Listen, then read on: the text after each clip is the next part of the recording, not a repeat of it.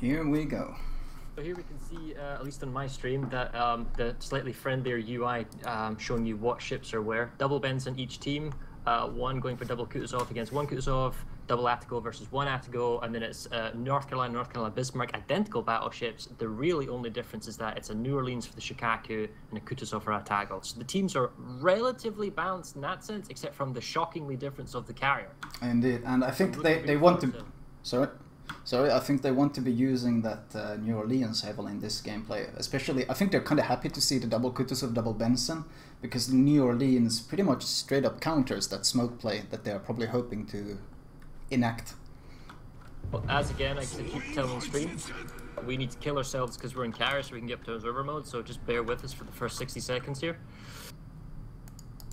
Well, alright, so you check in the disposition ABC, right? Uh, do you favor east or west here? Uh, teams get into position? I think taking C is a bit easier from uh, from the east side, because from the you have so much cover from the east side, so many islands to hide behind, and it's easier to disengage on that side as well.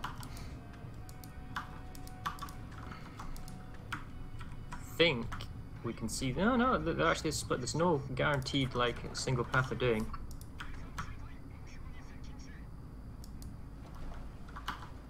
Some team members from um, uh, Wargame, well, Pay to Win, are going uh, Bravo, or at least looks they're probing Bravo, where other ones are uh, definitely moving up to Alpha.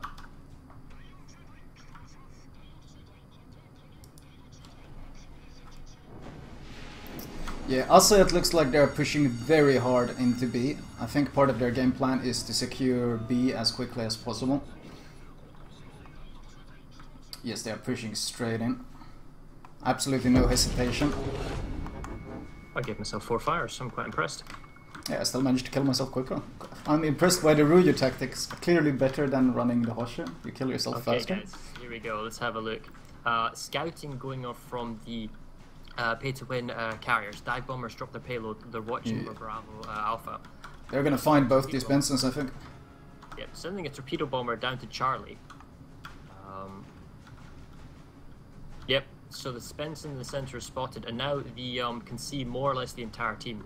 Oh, how much can you see from the pay to win side? Only the Bismarck. They have no vision whatsoever. And this is, of course, the huge disadvantage of running this no carrier setup is that you completely lack vision. You only see what the Benson scout, and because of the Kutuzov, Kutuzov Benson, Benson setup, they're obviously going to be smoking themselves up all the time.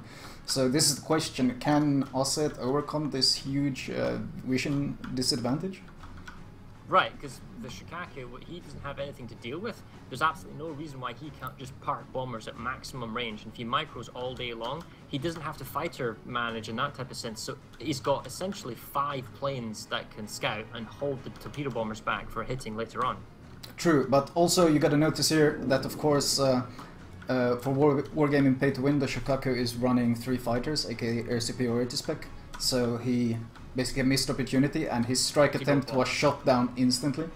Well, I mean, if you don't know, this is what they do. But if they take it on board that the enemy team all definitely doesn't go with carriers, next game you would shift back to two In, two two. right? indeed, that's the thing that do they dare to? Because uh, in Omni we even went strike Lexington one game, and they still didn't run carrier, and we just absolutely dominated that game. So the question is, will Wargaming Pay to Win dare to make the same kind of play, where they just go full on strikes strike setup? Well, um, Bravo taken for the central group of um, Aseet. Indeed, uh, they haven't re- honestly Aseet haven't really lost any HP at all, and they do have the capture advantage. So so far, there's been no setbacks with the no carrier setup. Right, so the big difference here in the team composition right now is the fact that this, the ignoring the side differences, your team is all in one big blob more or less, whereas the team from Pay to Win they're essentially split evenly between north and south. They've just taken Alpha, they're taking Charlie. Uh, the Bensons are in the north and the south, along with the battleships and supporting cruisers.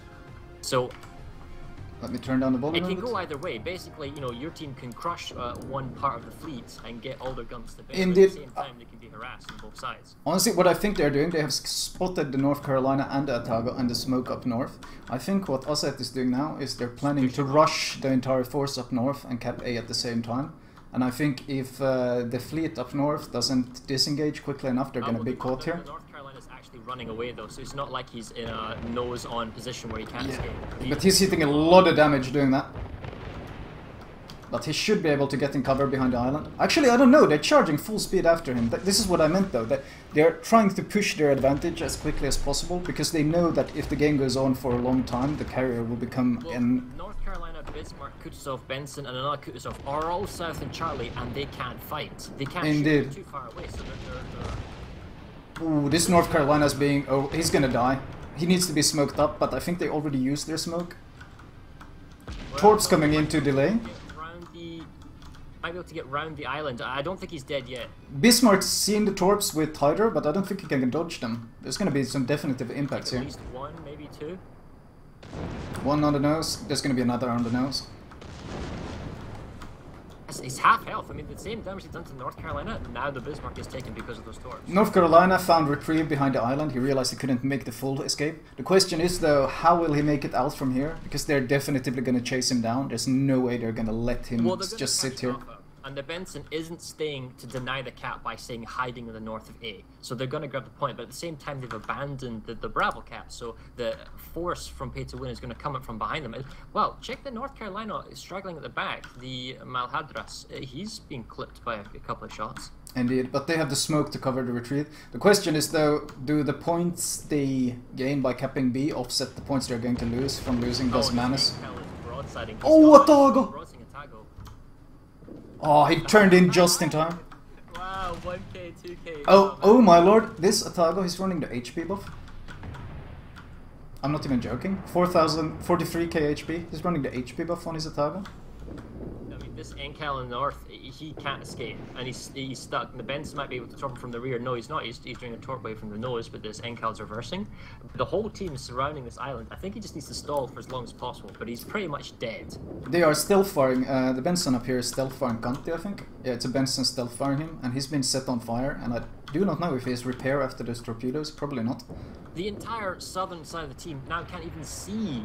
Um, I see the, the, pay to win. Ah, there you go. He goes down now. And then, big uh, crit uh, from the Bismarck. So they're down a battleship now. But they have no caps. They don't even have A yet.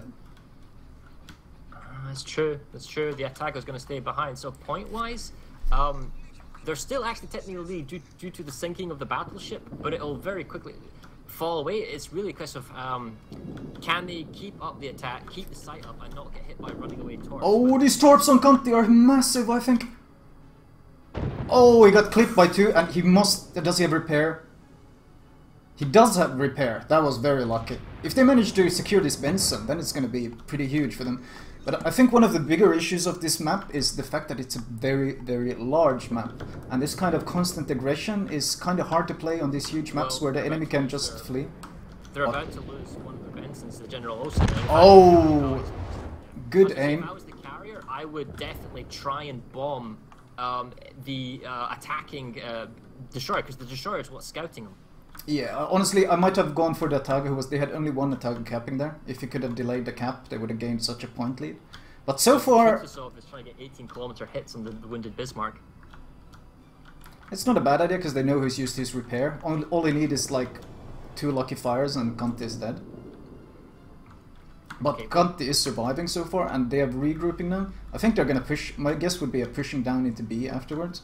I think uh, so. The all right. So from the point of view of pay to win, most of their ships have now stopped on the southern side of Bravo and are just waiting to see what happens from the Aseet point of view. And they, they have a really good positional advantage, I feel, because if they want to push into B, they basically have to push through bottlenecks. Either they have to push through on basically VG's side of the map, or they have to push through the middle bottleneck. And either way, they're gonna have to funnel. Is the Kutuzov from to Win. He's firing, he's exposing himself, so he's the only guy that the enemy team I presumably can see. Yes, but at this range and with 31k HP, as long as he doesn't give any foolish broadsides, he should be just fine. Because he has so much time to dodge the shells at that distance, he should be fine. Question is here, they have seen uh, the setup that is, or the fleet that is setting up in the middle of B question is what are Aseet going to do now? Because basically time works against them. If they only have one cap and the enemy has two, time will constantly work against them. The lead they generated by the kills is already evaporating. It's almost even again.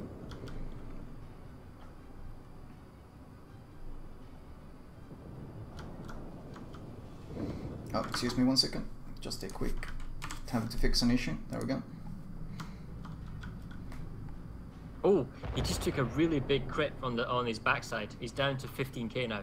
Oh, it looks like Aseet are making their move though. They're going to push through the base. Oh, we have Benson who's smoking up in front of them, and it looks like they're going to push down this flank. Meanwhile, they have a North Carolina setting up in A to be able to flank the fleet at B. We see that, but the fact is the central team also sees that. The entire team is spotted for uh, point of view. And Kutuzov's just uh, smoked up himself. Oh, they're focusing looking I think. team, and- they can they can see what the enemy can. I'm surprised there's no um, carriers spotting these DDs that are pushing in. With Just one carrier, uh, the, a few planes up here just constantly spotting these DDs would make smoking up for the fleet so much harder. See Ridgeson, right, and these North Carolinas pushing down the central into Bravo. I question this because he's taking the fire of all the ships, and now it's a role reversal. The uh, Sikh guys can't get their guns to bear. Oh, and he has no support. I thought I thought he was gonna park behind the island and just wait for his team to push in, but he pushed in too deep. I think now he has to reverse. So he's, he's not going to take a lot of AP damage, but, But fires, fires, fires. I'm surprised the battle chips are shooting AP and not HE. I think they should uh, they should definitely be going for the fires at this point. That's one fire on. Yeah, uh, where's the carrier though? The carrier should have seen that Wait, this guy was isolated. saw the Benson very briefly. Uh, yep, we can see the Benson again. So Buzz Light is lit up for the uh, Kutuzov. Kutuzov's down to 11k in his own smoke. He's actually quite isolated, the Kutuzov. So if he, if he runs out of his smoke and he gets spotted, Oh, just needs to see stealth though, because Kutuzov's stealth is 11.1 kilometers. So long as the planes are over the Benson, you know, the, he can't approach undetected. I don't like this. These bombers. They shouldn't be going this way. They should have gone the other side. They're going. He's going right into the clumped up ships. He's gonna lose planes. He can, I mean, go for the Benson. Questionable at best. Be- Benson has his own AA as well. Oh, Kutuzov has just turned up from a seat and is going to smoke up the North Carolinas down there to 26k. It's still, we can still see the North Carolina yet though. It's Yeah, not but look at the scores. Look at the scores. They, in this brief time, they've already gone up to almost 700 points. Ah, they need to make the push right That's now. the thing, they- they can't sit around. Basically, they're pushed into A while it gave them an advantage. They spent too much time re- resorting themselves and reorganizing, and they basically lost the advantage they gained. And uh, now time is working very harshly against them. They have to make a push now. And the thing is, all three of their battleships are pretty heavily wounded. I mean, you know, they're down to half health or less, right? This is the Aseet team. Yeah, um, Buslight is smoking up the fleet again, but they're not using it to push. They're just smoked up. Where's the push? Where's the push? They must say that time is working against them. Kutuzov on the pay to win side is now down to 6.2k. If I'm him, I just stealth up and just don't fire. Yeah, the Bismarck is in the open. Yoshi is being the focused a bit. Just run out. Now, the fact is, there's a Benson and a Kutuzov here. They could do a fresh smoke, I guess. The North Carolina Ridgeson, he, he got dropped down to 14k, but he's healing up now. His heal came up. The Bismarck is, well, he's, he's turning away from broadside. Is this the push happening now? Yeah, it looks like the push is happening now. Oh, they see. Uh, they I think they were waiting for the smoke to vanish down at B before they made their push. They need to score kills though. That's the thing. They have to score kills to stem this bleeding. Well, it's, it's one weak cruiser kill. It's one light cruiser from the Kutuzov, you know, to, to end it all. And the destroyers, however, or sorry, destroyer singular for uh, pay to win, he's got a lot of work to do here because it, the torps are one that kind of makes the difference. And what's got me is the one Atago, right? He's down to, he's got like 34 KHP, but he's miles away next to the Kutuzov. He's not in a position where he can use. Oh yeah, I see. to If fire Alex more. is, he can't. He can barely even fire from there. I'm Oh, surprised he's there. Oh, I missed it. What happened there? That, well, he just got he was broadsiding and he got smashed. The Kutuzov. Ah. and he got all the, of your team could see him, and he absolutely got railed. And the fact is, the push is happening, and the team knew the push was happening. This is paid The, to win. Bismarck is the focus target for uh, pay to win now. Though he's down to 8k and firing. But Mott's the advantage of having both their DDs alive is showing for Assad now because they are smoking up. Is that the attack Oh! and the Benson are not in a position to torp this. Massive, massive hit on Kingpin. Massive hit. Half his HP gone in one volley. He gave broadside in the North Carolina and he was instantly punished. And now he's being focused down. He, can't get into the smoke in time, or can he? I don't know if he has a repair up. Uh, we can't see Ridgestan because Ridgestan's nose on and reversing, and there's a torp wave incoming from the enemy. Oh. Kanti might go down. Conti is burning. He's 2k HP and burning. 1.8k, 1.3, 900, 500, 151. Oh, he is down. They have almost 900 points now.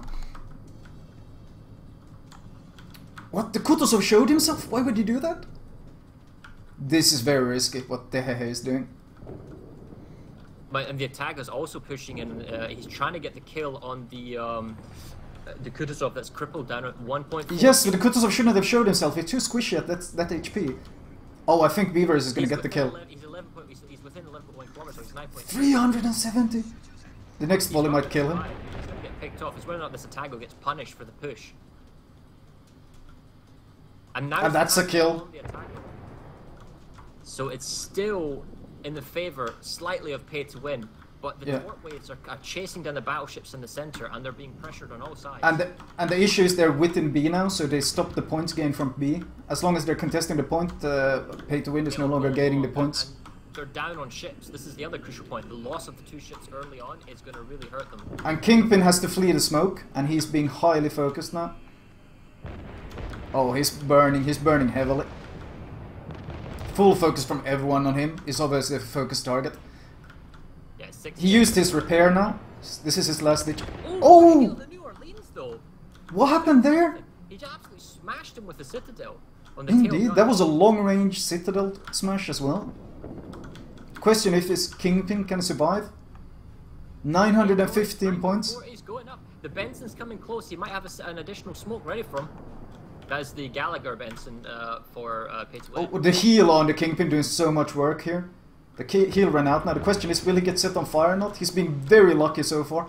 Oh, and he gets smoked up. So lucky to not get a fire on him. They've still got a single capture point. They're up 930 points. One kill will do it, or just surviving. Now, the North Carolina should survive in the smoke.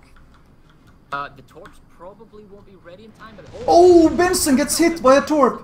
That was a huge misplay. That was a widespread torp. The secondaries on the Bismarck were lighting up. They don't have sight in the Benson right now. That's the carrier's job. Light up. Oh no, 700 HP! He's dead! They have 972 points! That misplay by the Benson eating the torp might turn this entire game! They just need to survive now! They, they will gain the points in like half a minute if he just survives. Uh, it's critical. The fact is that the North Carolina just doesn't show where he is, and if uh, anything, he can fire. And Oh, he might... Bismarck might kill that Tago. There's two. Both Atagos are under threat right now from both the different battleships. So is the Bismarck though, he's being focused by them all. 990 points. He's gonna survive. Is the Torps gonna hit the North Carolina? Uh, it, no. The first wave won't. The second wave will. 996! Points. Are they really gonna win this Oh, out? point. The torch will hit the North Carolina in about four seconds. Oh, 1000 points! I don't believe it! They managed to endure! They slowed them down and endured long enough. Oh, what a fantastic first game. Oh my god. I can't believe they managed to endure that fight.